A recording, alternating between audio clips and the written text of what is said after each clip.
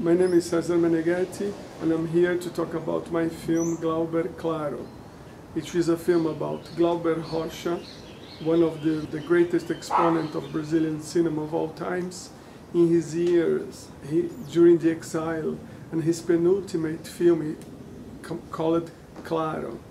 Claro in Portuguese means clear, because he wanted to see clear the contradictions of the capitalistic society. And he compared Rome as a mythological cuddle of, of all the capitalism that existed at that time. The film was shot uh, in 75 in two weeks, but divided in two months, more or less, in between April and May. We also go through his path, and, and, and, and, we went there in, between April and May, exactly the same time, to shoot the locations and to talk with all the people that worked in the film that are survived.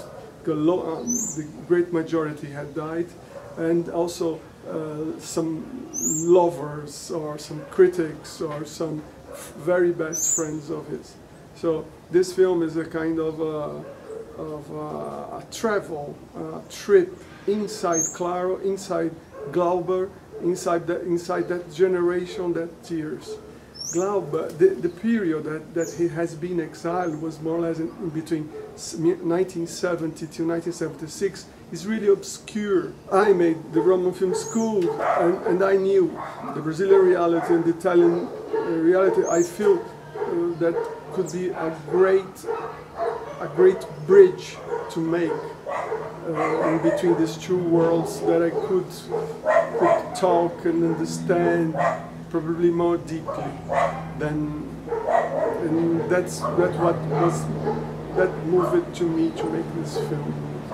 Uh, another thing, it's uh, it's a film that talk about uh, life that, that passes.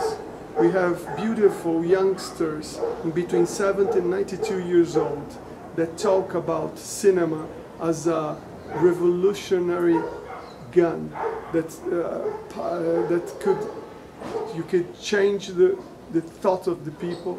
You can evolve the thought of the people, and you could change also the world. There in Rome, imagine that Rome in the 70s, Glauber find himself exiled, but in the same city that Fellini, Antonioni, uh, Luchino Visconti, Pasolini, Ermanno Olmi, Moravia, and several other great filmmakers of all that time were, were living. It was a very, very uh, was a uh, was a melting pot and very potent. Claro was the third film he made abroad, third, fourth film he made abroad, and was the, his penultimate feature film. And there is lots of things that are in Claro that he brings back to the, his last film, The Age of the, the Age of the Earth. And um, I think this all this experimentation was really really positive because he he was also fiancé of uh, one of the muses of the Nouvelle Vague was Juliet Berto at that time.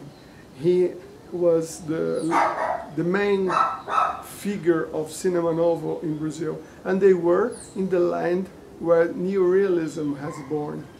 Uh, so Rome at that time, that generation, really believed that the cinema could change the minds of, and the thoughts of the people and they could change the world.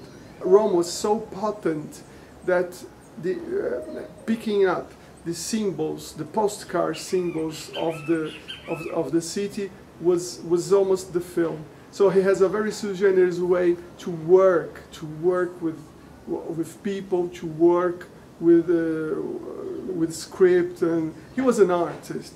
He was like probably he was living today. He he would be like a contemporary artist, I think. Well, anyway, uh, I I wish you a very good session and bye bye. Thanks a lot.